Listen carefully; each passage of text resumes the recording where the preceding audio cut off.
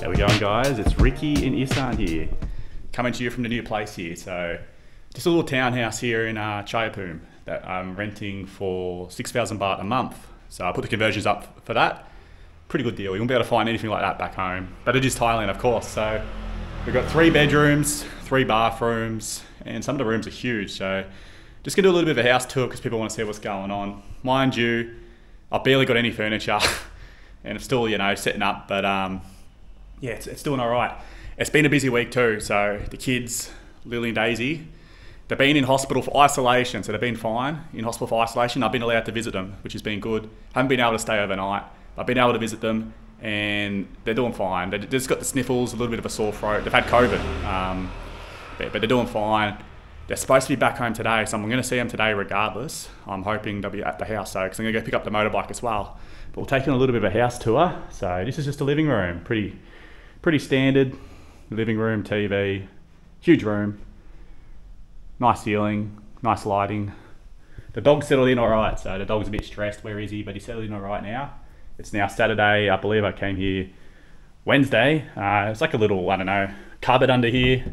Nothing too special, just cardboard boxes in there really from a few things and underneath the stairs. But yeah, just a little uh, living room. We'll just head up the, the hallway and we'll go directly to the end we've got a kitchen. So just a standard little tight kitchen, nothing too flash. I just keep the door shut because it can be quite loud with the neighbours. But yeah, I just brought a, brought a tiny little fridge for uh, bugger all really, just tiny, tiny fridge, you know. Look at the height comparison. um, that's all I really need and I can even unplug it at times. And what, what have I even got in the fridge? Vegemite, more just to get the ants away. A sauce bottle, I hope Drew doesn't see that. Um, yeah, dog food really. Well, we got in the freezer? We got something special in the freezer today to show you guys. Chiko rolls, mate. Been uh, whinging I couldn't get any dim sims, but I managed to get some Chiko rolls, so happy with that. But uh, yeah, just a little uh, tin roof kitchen. Unfortunately, it's just tin roof there above the concrete wall. It's gonna be quite noisy for next door. They, they'll be able to hear me right now, and yeah, pretty minimal. I don't I don't really cook, so it's got my kettle. That's more for when the babies are here or when I want to have my uh, chocolate milk. An air fryer. Every bloke needs an air fryer. A slow cooker that'll probably never get used, and uh, ended up buying a washing machine. It was very cheap as well. Um, Toshiba. So yeah, just a washing machine, and then you got the uh, yeah the water tank, the water tank and a pump, just to uh, yeah keep the water going. Uh, yeah, and there's a small townhouses nearby. So we'll just head back in through the house on this first floor. I'll shut this door so I'm not making too much noise. For the neighbours, it's been a bit stressful with the dog. The dog was a bit stressed at first, but he's, he's pretty calm at the moment. Usually he gets a bit um, a bit protective outside. So we've got a front gate outside and the, the road's pretty busy, so he just can't control the road. But in the village, he just wants to bark at everyone who goes past the house. So this is uh, the downstairs bedroom, which is essentially just going to be a junk room. Probably park my bicycles there. I could even park my bicycles in that little chamber underneath the stairs if I want to, but still setting things up. As you can see, it's got tools, tools in a sports bag, and yeah, the, the sofa that came with the house isn't up, isn't really great. So I just thought I'd pop it in here, and yeah, just the clothes, the clothes will dry in here essentially. Um, I noticed next door because they've got the windows open, they've, they've turned their downstairs bedroom into their kitchen because you can see the fridge and microwave and everything. And I guess they got a table. I think that's a really good idea, and potentially that could just work as a laundry. But um, I'm going to keep it pretty minimal. I'm not really going to buy much, but I'm going to make sure you know I can provide quality life for my twins as well. So here we are. We've got the uh, downstairs bathroom. So pretty minimal. It's a bit. I mean, the house itself's a bit aged, isn't it? You can tell it's a bit aged. Probably 20 years old, 15 years old, but it's still nice. It's in good nick. When, when I when I first came and looked at this thing, it was pretty um, dusty and needed a good clean. Um, you can even see the walls. The walls probably need a good paint, don't they? You're not going to clean that out. That's, that's everywhere in the walls, um, even here. But it is what it is for Thailand, isn't it? And couldn't really find anything and just happened to find this place. And had about five maids come here to clean the place out. A handyman who fixed about 14 light bulbs, fixed all these leaks. You can see the pipe under here has been replaced because that was leaking. Um, literally fixed everything. So they've done a really good job. The, uh, the actual place I'm renting it off. But yeah, pretty minimal bathroom. Uh, Falang toilets against the wall. It's against the wall, unlike in the village. And uh, this shower wasn't here. They actually popped a shower in here. So um, no hot water on this one. But uh, oh, geez, I aimed it at myself. Didn't even look like it was aimed at me. But yeah, just a pretty minimal, basic shower with some uh, strong. Doesn't even look like a shower head, does it? That, that, that's where the water comes out. I just sprayed it all over myself. But just a pretty basic, you know, standard shower. Just a bit awkward because it's, it's right underneath the stairs, but I mean, you can you can make use of it if you want to. All right, so I've cleaned myself up a bit after spraying the water all over my face, and we'll take you up the stairs. So, nice, great staircase. Um, the day I moved in, so the day the furniture arrived, when the furniture guys were here, I met the neighbour. So the neighbour next door actually speaks English. So I mean, one of the things I wanted to move to the city for was a bit more of a social interaction and more people to meet. And straight away I met somebody who speaks English. He's actually an English teacher from uh, Zimbabwe. So it was nice to meet him. The huge ceilings here with the staircase, isn't it? Grand old wooden staircase up to the second floor. And we'll turn right. This is going to be Lily and Daisy's bedroom. So it's not really set up yet, but you can sort of see what I'm what I'm going for. Wardrobe that came with the place, and basically just a bit of junk at the moment. But huge space, isn't it? Mattress came with the house, so so I'll use the other side. This side's a bit dirty. Put put sheets on and everything, and there'll be Lily and Daisy's bed. And I brought their little beds as well because the Thai family don't use them. So the Daisy bed, the Lily bed. I'm looking forward to having them here with me just bits and pieces of junk, you know, a couple of baby stuff. I've left most of the stuff at the house for now. Um, bibs, baby car seats, of course, because I'll need them for uh, going in the car backwards and forwards. Baby bottles, a couple of wipes from uh, David in Lemon Farm, Lemon Farm, Thailand, because uh, we just got heaps at home at the moment. And just general bags and stuff. First Aussie footy that my dad sent couple of dolls my mum sent over, and I uh, got the koala and kangaroo under there as well. Just some, just some of the good toys that I don't want the Thai family just to you know let go outside and get wrecked. I brought some of the good toys just with me. I think there's a koala there from Penny as well. It's actually the first teddy bear I ever had, guys. So I've still got it. 29 years later, Bo. As well as uh, this clown thing. So there'll be something to show Lily and Daisy as well as they grow up got to have my uh, hat set up somewhere. So I've just got my clothes in here for now. I don't know if I'll organise some more clothing storage or what, but yeah, that's just where I've got.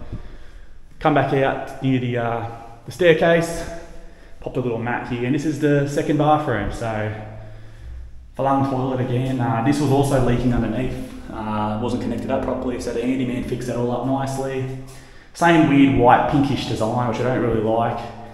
And I did organise for this shower a brand new hot water system. So this shower I just had wires sticking out. And if uh, Do Home came and installed it the next day, it was about a thousand baht to get it uh, installed. And you know they make sure it's all safe and everything. And they even popped a new uh, shower head on, so that's hot water ready to go if I've ever got family here or, you know, just handy to have two hot water systems. That one's uh, real hot too. And I love the little window here the little window out to the staircase, I guess, just to make sure the bathroom's not fogging up. And here we go into the, the grand master bedroom. It's got the curtain shut. I've got a rip of view out the window, but I just don't want to show exactly where I am because I am in the city, so you'll be able to look at some of the landmarks and figure out where I am. So it's best just to keep your, your location as private as you can. Air purifier, which is essential at the moment. The air quality is horrendous. It's in the 150s, 160s out here in the country at the moment. And it's no different in the village compared to this little city. It's probably a bit better in this little city before people slander me for moving to a city, but yeah, the air quality is horrendous in Isan at the moment. Uh, air conditioner works great. And then the bed that came with the place as well. So yeah, the bed's all right. The lighting. Little, I don't know, makeup table, I guess. Just got my basic setup for, uh, you know, I'm a man, I don't really use a whole heap. But yeah, just little, little makeup table. This all come with the house, it's fantastic. I brought another mat and this is the uh, master bathroom. So I've got the, the little windows that go outside, same colour scheme, Falang toilet. The mirror's up a lot higher, which I like. I'm used to um, in the village house having to sort of crouch down every time I use the mirror, and every, every time I come to use the mirror, I'm always crouching down. So I'm uh, pr- pretty happy with this actually. And then um, into my shower, master shower, pretty basic, but still better than what we're using in the, in the actual village. Eh? Proper shower, hot water system. This one's not super hot, so maybe you know if it's a cold night or you know bit of a cold day, I'll go have a shower in that one. Um, but this will be my main shower. It's fine with the, uh, the hot weather because it's quite hot at the moment. So what do you reckon, guys? This, this place is in a fantastic location. 7-Elevens, parks, malls, shops, everything's all nearby. Not like in the village where I was 10 k's to the closest 7-Eleven. Would you live in this? Would you live in something like this for 6,000 baht a month? I'll put the conversions up again. Um, I think it's pretty good value for money, even for you know when you look at the average wage of a Thai person, it's, it's a really good price, really good get. I've got friends living in Bangkok for 20,000 baht a month and I'm paying 6,000 baht, so over three months until I actually pay a month's worth of what they're paying. And I think this will be great for the babies. I think it'll be great. Um, we've got a river, river views, which I'll show you shortly. I'll go out there and show you guys the river views. And one thing that confused me a bit was the waste collection. There is no waste collection for the house, so I'm not sure about the toilet. I think the toilet might be hooked up to the city mains. I'm not sure if we get the septic tank out here. I'm gonna have to find out. But um, with your trash and your garbage, I'll show you guys what we got to do. It actually, um, I was baffled, baffled what I got to do, but now I've got my head around it and I see what goes on in the city. I think it's actually not a bad little system that they've got. So yeah, I'm just down the street a little bit, just a short walk, and you wouldn't think I'm in a city, would ya? Still quite raw, isn't it? And this is what we do with the waste collection. And I think it's like this all over the city. So sort of a lot of the streets have these, and they actually do follow the rules, believe it or not. I just chucked everything in whatever bin I wanted to. So this is all recyclable stuff. So I was popping in a recycle bin. But uh, yeah, I popped some stuff in here the other day. And when I came back down, um, someone rearranged it all correctly. Probably the garbage man. It gets, I think it's emptied maybe once or twice a day because I see it full and it's empty not long later. So yeah, that's what you do.